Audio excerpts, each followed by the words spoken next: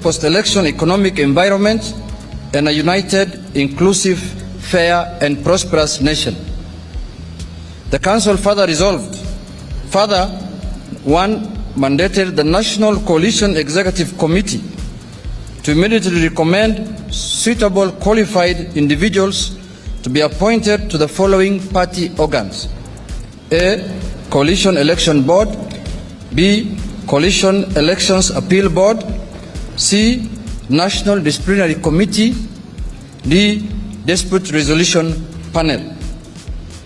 The Council also resolved to appoint an advisory panel to recommend to the presidential candidate suitable candidates for nomination as the deputy presidential candidate. Three, directed the National Coalition Executive Committee to immediately prepare a campaign strategy and plan that will ensure one, the Azimio la Umoja One Kenya presidential candidate wins the 2022 presidential election.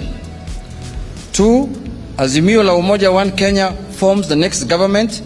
And three, Azimio la Umoja One Kenya forms the majority in parliament and in all 47 county assemblies of our blessed republic. Thank you very much. An end of statement.